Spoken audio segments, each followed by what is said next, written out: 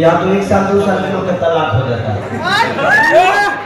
ना भाई कोई दूसरा के टारगेट नहीं करेगा ये वो बात कहते नहीं सिर्फ़ एक आदमी की बात नहीं कह रहा हूँ मैं ये बात चलिए ये बहुत कम ऐसे होता है भाई और मैं तो चाहता हूँ कि जो भी जन्म मिले ऐसी समझदार पर क्या बात है? ये तो बार।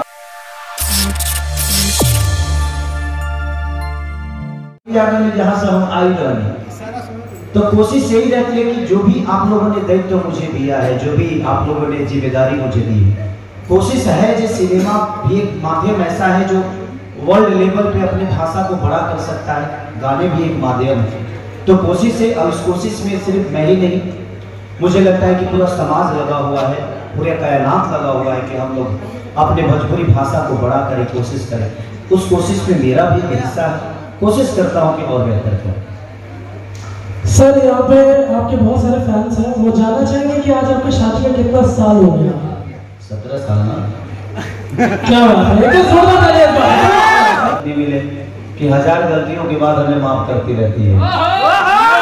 और ये नहीं मिले। कि हज़ार गलतियों के बाद हमें माफ़ करती रहती है। और ये ये अवसर सबको नहीं होता है। इस दुनिया में महान वही होता है। मैं महान हूँ या नहीं मुझे पता नहीं। बट इतना ज़रूर है कि चंदा बहुत महान है। मेरे हज़ारों गलतियों को ये माफ़ करके और आज भी मेरे साथ एकदम चट्टान की तरह खड़ी है, ये हौसला सबके पास होता नहीं है। या तो एक साल, दो साल में लोग तलाक हो जाता है?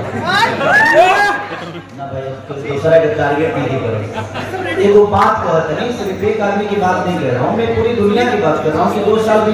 की कि पाते लेकिन आज हम सत्रह साल से एक दूसरे के प्रेम में, प्यार में, मोहब्बत में, स्नेह और प्यार में बने हैं। तो ये आप सबका बहुत बड़ा योगदान और आप सबका प्यार है। कि आप लोगों ने जब हमारे पास कुछ नहीं था तो जब हम एक रहे तो ईश्वर ने तो आज बहुत कुछ दे दिया है कि हमारे पास खोने के लिए आज बहुत कुछ है। पहले तो खोने के लिए कुछ नहीं था। आज खोने के लिए बहुत कुछ है तो इसी ज़िम्मेदारी के साथ हम कोशिश करते हैं कि कुछ खोए ना, जो भी पाए, हमेशा आप सबकी मोहब्बत से पाए। अभी हम लोग यहाँ जयमाल का कार्यक्रम पूरा करेंगे। सर बा। चलिए ठीक है।